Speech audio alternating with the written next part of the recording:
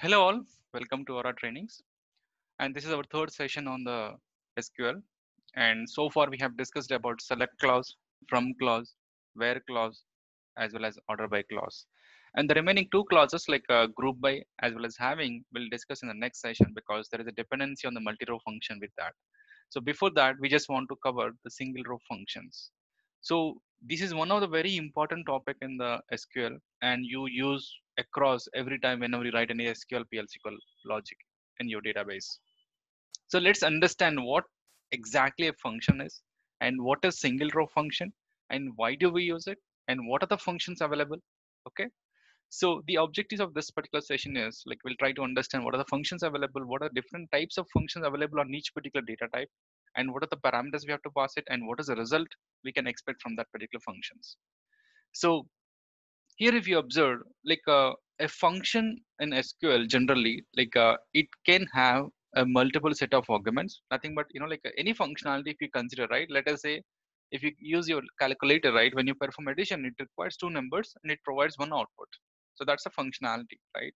Now let us say you switch on the fan right? So the input parameter to your switches switch it on and the output of the fan will run so any functionality generally consider, it takes some input parameter and provides an output. The input parameter can be multiple parameters or single parameter or even no parameter also. Just call a function, it will provide an output also. There are some set of functions which don't require any input parameter. So function handles like a, a function provides the output because a function always has to provide the output and the argument may not be a mandatory, it depends upon what it expects and it can have multiple arguments okay? And why do we use function as like uh, rather than building complex logic on our own the pro database providers provide some set of functionality so that you can build your logic very easily? A functionality a function or i can say a function encapsulates the core business logic. It doesn't need to implement from scratch. Now let us say if you want to perform summation on your own you need to write your own function.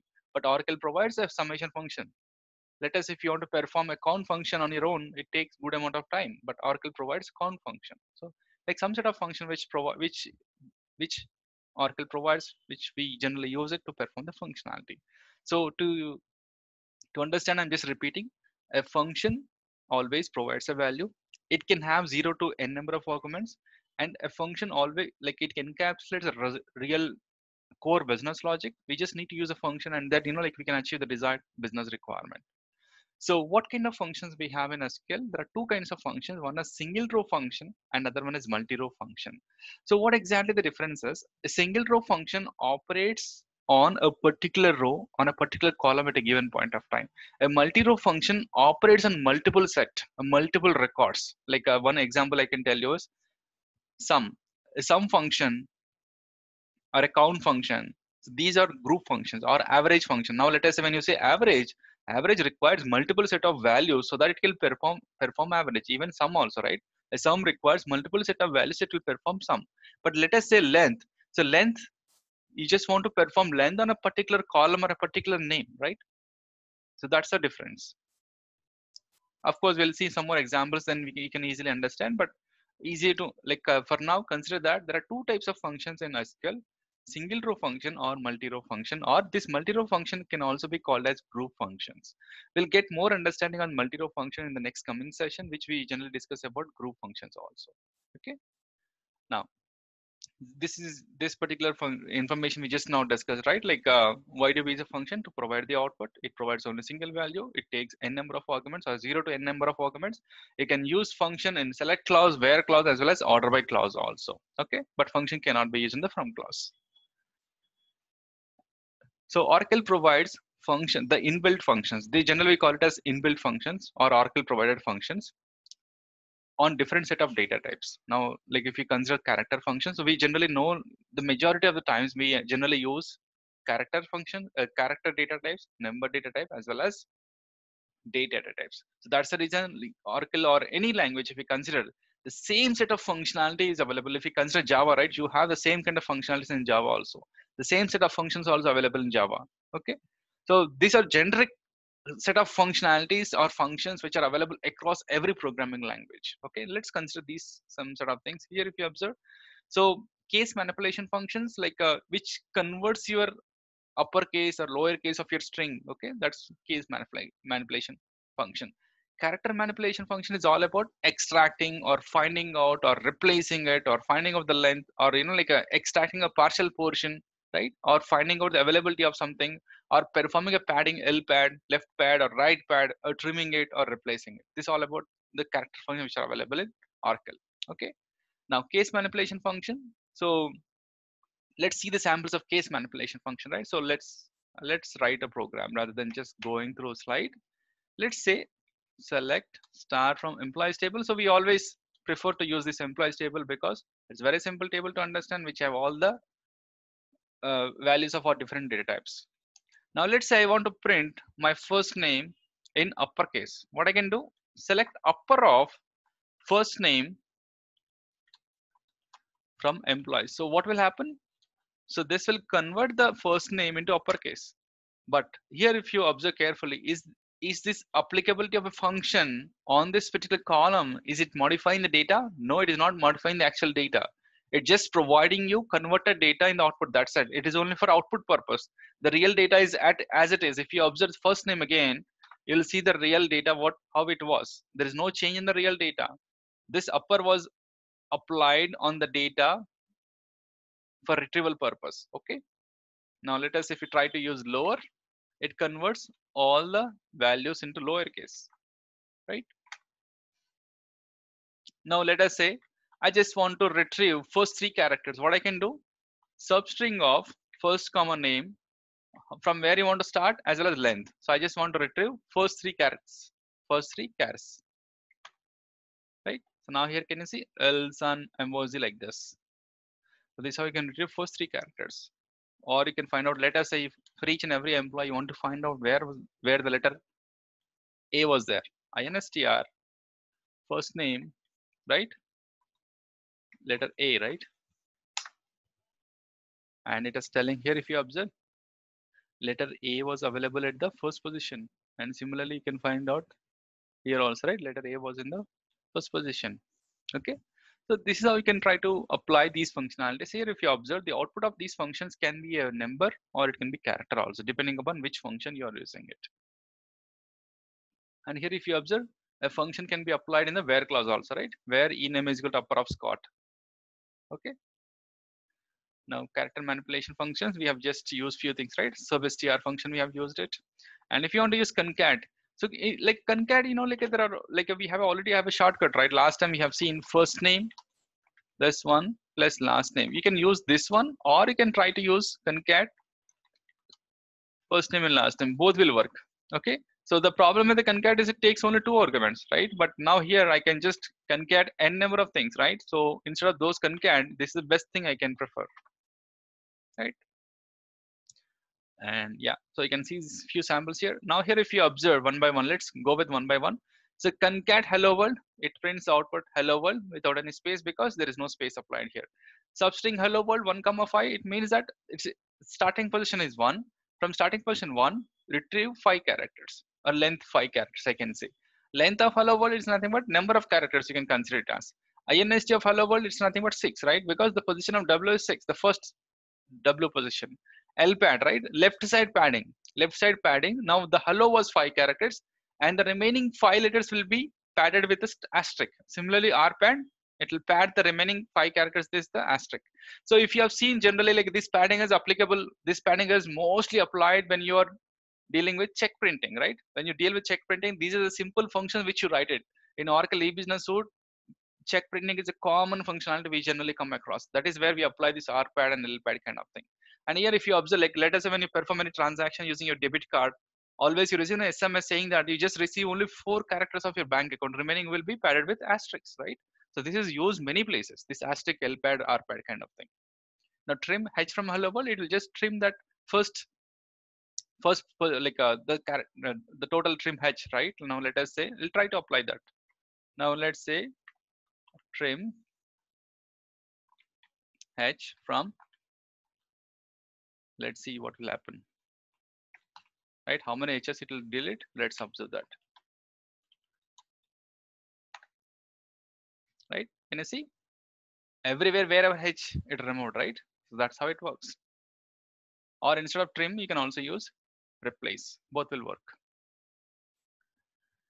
Yeah, coming to the next one, number function. See, this particular set of functions which I provided were a very like uh, very small set of functions. There are large number of functions and based on the database version which you are using of Oracle, there could be some extra functionalities also, but these are the high level functions which you generally come across. So based on the requirement, you have to explore as well as based on the database version which you're using, you may have some additional functions also available. Okay. Now coming to the other one, number functions. So number functions nothing but like uh, when you generally want to, you know, like uh, these, there are a couple of number functions which are provided. There are only three functions, round, trunc, and mode. All seems similar, but each is a different. Let's understand one by one. Okay. Now, so what does round says? So instead of discussing about theoretical, let's try to run this one. Then we can easily understand. And developers who don't know what is dual, or maybe if you have any confusion about dual, let me clarify. So in other sessions, I forgot to clarify this one, but let's let me write it. So let's execute this one. Select start from dual. It will print one record with one column. So dual is nothing but a dummy table. Dual is a dummy table which is provided by Oracle for the purpose of executing SQL functions or validating some set of output which you generally come across. Because sometimes we want to execute a function, okay? So a function can be executed only in a select query, right? Or you can just assign, assign, I mean, you can simply invoke it or you can consider it as an assignment value, right? So now here, if you observe, now let us say I want to validate some set of, validate a particular function whether it, how it is working, what kind of value it is returning. So the best and easiest way is make use of a select query. So we know that any select query always requires select clause as well, as well as from clause. So instead of dual table, if you use some other table, what will happen? You are unnecessarily executing some set of data which is not at all required. Now, right, uh, which which are, which is not at all required. Let us say I just want to print current date. So now I can write select sysdate, which is which prints current date from employees. This will also work. But the problem here is this particular function is getting executed 108 times, which is of waste of time and memory, right? So that is the reason that wasting of all this particular memory, what Oracle has done is first don't use that way. What you can do is if you want to execute some functions for some particular business purpose, make use of dual table the way you want, which is having only one row and one column. So it will not waste your memory and it will execute your function only once. That's how that's the reason. Okay. Now, yeah. So coming back to our number function. So here, if you observe, let's understand this functionality one by one. Now, round of 49 for sorry 45.92 comma 1. So what it is printing 45.9. And now the next one, if you if you observe, so it is printing 46, right? So in the in this first one, what it is doing, it just printing only one decimal. In the next one, it is printing zero decimal. And here, if you observe minus one, right? So in the minus one, what is happening? So it is increasing this one, right? It is it is getting increased, right? One, two, three. This became 50. Okay. Now the fourth one, trunc 45.92. So it just removed the this one. It just removed two. And if you try to mention 45 trunc of 45.920, it is totally removing the decimals. So this trunc is used most of the times. I'll show you one example of trunc before understanding about that. Now let us say select sysdate from dual, right? So generally sysdate, when you use it, it includes time also, not only date, it includes time also. But in my case, it is not printing time because it is based on my settings of my SQL developer. But actually, let me try to print time also hours, minutes, and seconds. So this should print time also now. Let's execute now. Okay. Now here, if you observe, the time is 9:32 p.m. Of course, it is not printing AM and PM, but we can change it. But now let us say I want to write a particular functionality so that the time is zero. I don't. I just want to set the time to zero. What I can do is I'll just make use of trunc of sysdate comma sysdate from dual. Now here, if you observe, the time is 1200, nothing but 00 so the starting hour right like when when the what happens is like when when the day starts right the time is 0 0 right? But that is 12 12 12 0 0 it considered as it considers as okay? So that's how we can truncate the hours minutes seconds and generally use truncs in sysdate when you want to consider only our only date rather than time okay Now, coming back to our stuff, now let us say, let's try to understand this one. So what exactly truncate, trunk trunc performs? Truncates value to specified decimal. trunc it requires a column or an expression followed by n. If n is omitted, then n defaults to zero, right? Now, what was what was it printing? Like if you observe trunc, so trunc 45.92 1 2 3 4 5 right? 1 2 3 4 5 it was just totally truncating the decimal value. When you don't want a decimal value simply use trunc. when you want to perform the appropriate rounding to a single decimal or double decimal you make use of round. Truncate is for the purpose of totally truncating the decimal values or considering only specific decimal values okay now trunc 45.92 minus 1 so what it is doing it is truncating all this particular value right the like you know here minus 1 is nothing but the value before decimal. So it is converting this 5 to 0. That's what it is happening. Okay, now let's say if I mention minus 2, let's see what will happen. Right? It it converted this total to 0, right? That's what happened. Now mod is very easier one. It just prints the decimal. It, it prints reminder, right? 45 by 7, 7 6 42, the remainder is 3. Now here the remainder is 0. So that's what mod is all about. Okay, it just prints a reminder and a floor and we have power like i just try to explore them okay yeah dates is one of the very critical thing in any programming language not only in uh, this particular pl sql or sql even in the java even in the python in any other programming language always it's a troublesome functionality to work on it the reason is your your client will be in a different different time zone your transaction is different time zone your database in a different time zone and your application can be in a different time zone also. So always you have to deal with appropriate time zones also. Not just time and date time zone also very important. Here if you observe in our case just now we printed sys date right? Now let's say if you observe carefully again now in this nls let's say i want to mention time zone format. Can you see? Time zone so here, if you want to print AM and PM also you can mention. And let's say, I'll just mention sys timestamp. Observe this one, sys timestamp. And now it prints 13 January 2020, 9.35 PM. And this is milliseconds and it is PM and the time zone is 5.30, GMT 5.30, right? The system time is GMT 5.30, that's reason. So this time zone is also very important. Now, what are the functions which we have with the dates, right? The lot number of functions it provides, but let us see few functionalities. Now, let us say, I just want to see, today is 13, right? Now, let us say I just want to see what is the date last week or what is the day of the last week, or let us start with a uh, subtraction of date. Now, I just want to find out what was the date seven days back. What you can do? Just sys date minus 7 from 12. Let's see what will happen. It's 6 January, right? Okay now we can mention, let us say, what will be the date value if you perform addition of 7? It will be 20th January, right? So we can perform simple arithmetics to your sys date appropriately. But you have to be very careful whether you want to get the days, you want to, you want to get get only days, or whether you want to get the time. Lot number of things you can achieve using sys date, uh, using you know like uh, with the arithmetic of date. These are some set of predefined date functions which are available. There are some requirements where you may not using this also like directly you may not achieve. You have to use the next. You have to use these couple of functions to achieve a particular requirement. Let us say you want to find out the last Friday of a given month. Let us say you want to find out what was the day, like uh, what was the day on each and every month, right? So you want to find out the day of a particular month. You want to find out the last day of a month. You want to find out like um, what day this 15th August is on whether it's a Sunday or a Monday or whatever it is, right? So you can make use of these particular functionalities. Or let us say you want to add a particular hours, right? Now let us say I want to add 10 hours to my sys date. And if I add 10 hours to my sys date, whether it will be a new date or whether it will be an existing date. So there are a lot number of ways you can achieve also. Okay. Now let's see these examples. Now here, if you observe, months between was 1st September 95 to this one, right? It's printing 19 months, right? Addition of months. You have added six months to Jan, it became July. And next day, right? What is the next Friday?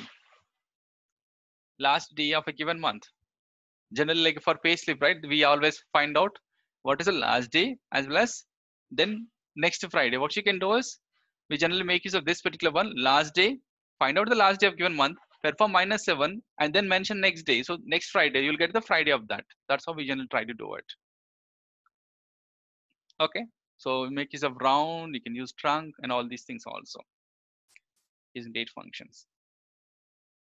So one important thing again in the data is like conversion functions in the dates.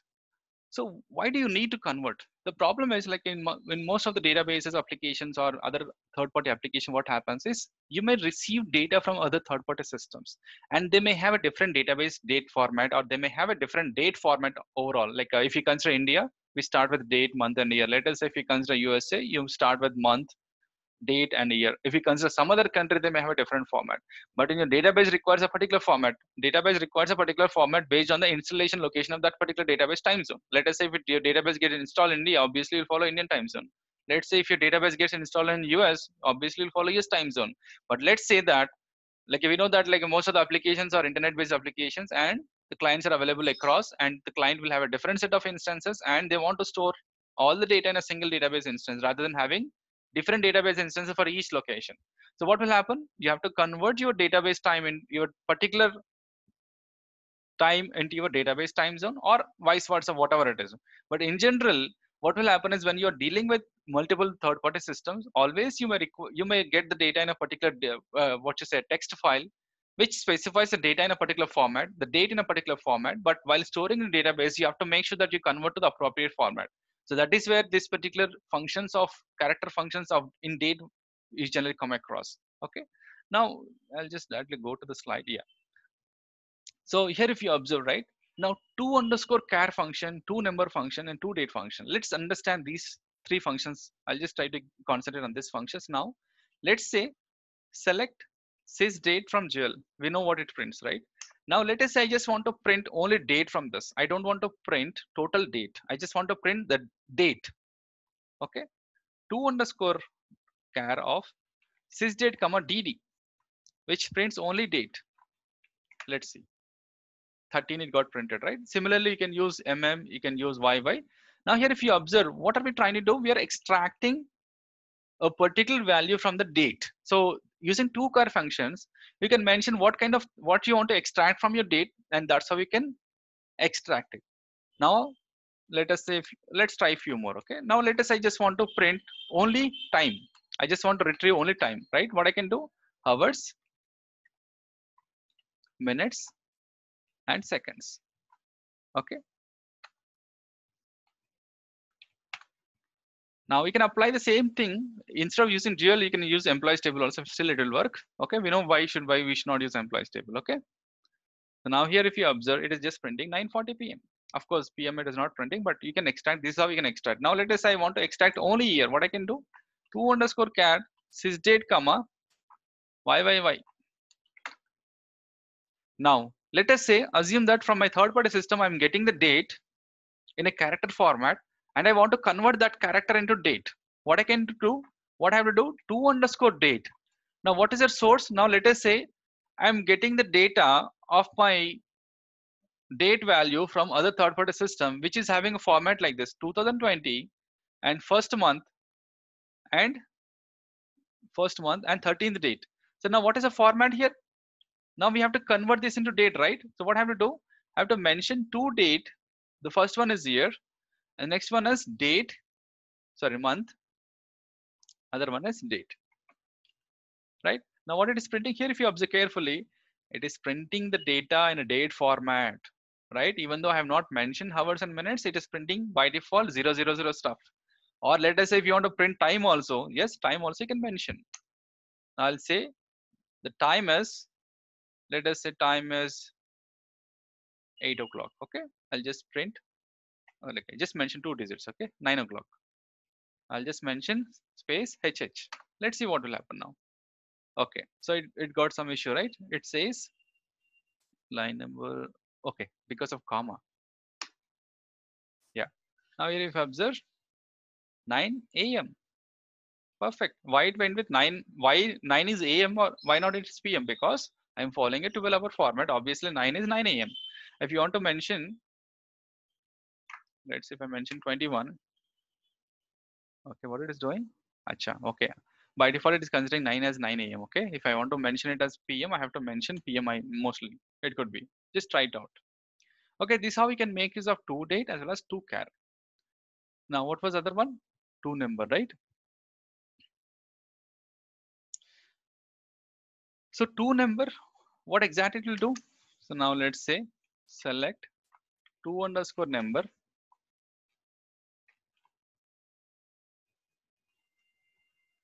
okay? So will it work? Obviously it will not work because you cannot see using to number you cannot you cannot convert the value. It just formats the value. It just used for the purpose of data con data type conversion not data value conversion. Now here if you observe this will get converted. That's what it's saying. Let's see some examples of this one. Yeah these formatting strings which are available in the dates and with the latest database version you can find lot number of things also. Okay hours minutes am pm hours and uh, 24 hours 12 hours and am pm and this you know like there's a millisecond right? Yeah so these some of the examples of date. So to underscore number right? So these like you're converting a string to number and here you're converting date to character vice versa also you can do it. Now here if you observe we are converting a value from the character into date right? That's what we have done here and yeah we just discussed this particular one. You can compare the dates okay? You can compare the dates also. So when you're comparing dates one important thing always remember is make sure that either you remove the time whether like make sure that you truncate the time. If you require time consideration yes consider time. But if you don't require time consideration so you always forget to mention that. Make make use of trunc there. Make use of trunc of your date so that it will remove the time from that nested functions yes you have we can use a function inside another function that is called nested functions okay? And yeah so nvl in the last session we have discussed nvl functions. These are general functions which you generally you use in like on any kind of data type based on the requirement you generally come across. So nvl we know that like uh, if expression 1 is null it will return expression 2 nvl 2 it's kind of second version or uh, next version of nvl which has a similar functionality but a little bit more right? Let's see the examples so NVL, I mean, just ignoring because we already discussed last time. Now coming to NVL2, it's almost similar to the NVL, uh, NVL, but a little bit more, right? So if you observe the uh, description here, if expression one is not null, expression two is written. If first expression is not null, expression two is written, else third expression is written. Nothing but if expression one is null, it will return the third one. If expression one is not null, it will, it will return the second one. That's the functionality. Okay null if a little bit a contradictory kind of uh, function I feel it as. Like here if you observe if both expressions are same if nothing but if expression 1 and expression 2 both are having same value it will simply return null. Else it will return the first value. That's the functionality of this particular null if. Okay? Coalesce it will print the first not null value. It will print the first not null value. Now yeah this is very important one. Case as well as decode are very very important you generally like uh, don't get confused with this one but these are very important. You have to clearly understand this case and decode. Now what exactly it is telling all about is like maybe if you have come across if you are already from pro, like a programmatical background you should have already seen a switch case which is available in java which is available in c language c++ python in most other programming languages also. You have the switcher switcher case. Even in the normal like a ui programming language like uh, in the oaf adf also we have switcher logic. But anyway let's discuss this one. So what exactly this is case is all about? The case is a keyword. It takes expression as an input parameter. When comparison so this comparison expression one is compared with the expr and if it is matches then it will return the expression one. Similarly it will compare with second condition. If it not matches with any of the expression then it will return the else expression. And coming to decode, it is almost similar to the same thing. Like here in the decode, it will consider the first expression. Like what it what it will do is this column or expression will be compared with search one. If it is matches, it will return the result one. If it is matches with search two, it will result it will return the result two. Else it will go with the default. Okay. Now let's see this example. So here, if you observe, case is a keyword which is taking x as a like which is considering a value x so it is comparing x is compared with the first condition when a when b then it is print hello b if it is a it prints hello a else it has to print hello somebody now in this particular example here if you observe don't struggle much just co simply copy this one and let's try to execute this one. Okay. Now what it has to print? Hello somebody. Let us say I want to print hello B. What should I do? Just change it to hello. Uh, sorry, change the input value to B. It has to print hello B. Right. Similar same logic in you can achieve using decode also. Now let's try it using the same logic I want to write using decode. What I do? What I have to do?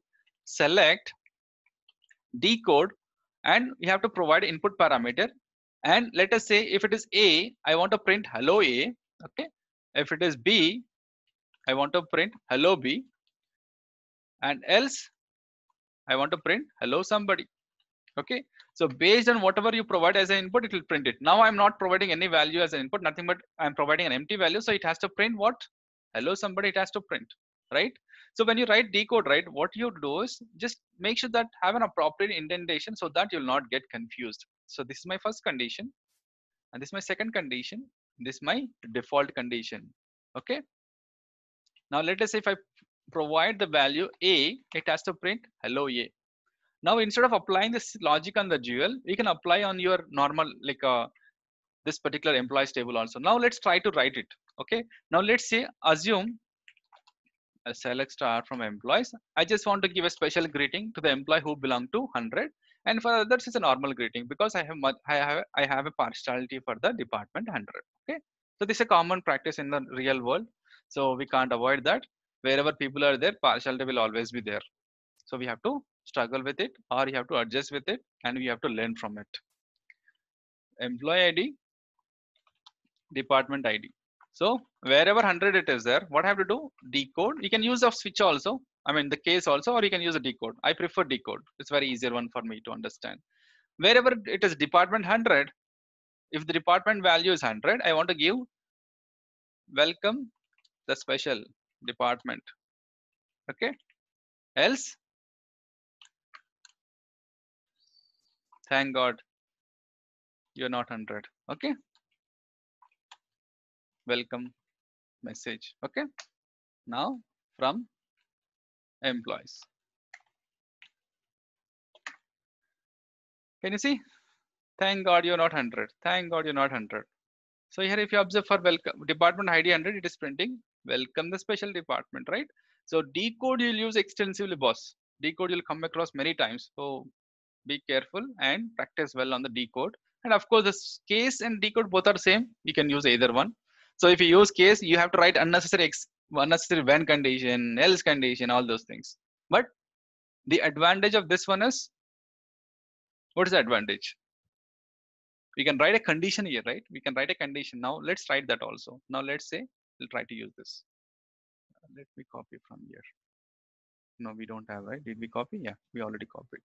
Now let's say we'll write one more example of using uh, case select employees. I'll just say case salary first name uh, just salary condition okay?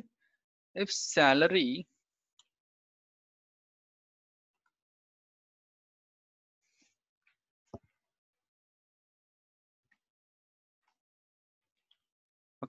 is it not again? It's not working, right? We cannot apply conditions on this one. Okay, salary. If salary is less than 1000, hello, less than 1000. Okay. Else, hello, greater than 1000.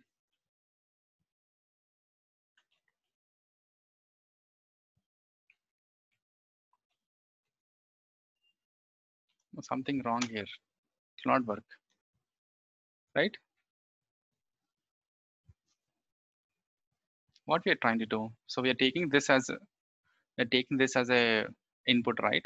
And when so when it has to match, there is no there is no conditional logic can apply.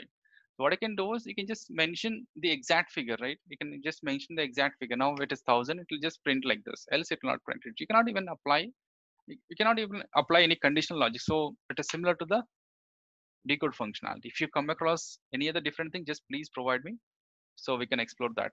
Okay, so like uh, for now we have discussed some set of basic level of functionalities on the select queries single row functions. Like uh, we have considered few examples of string functions, few examples of number functions, few examples of date functions, as well as general functions also.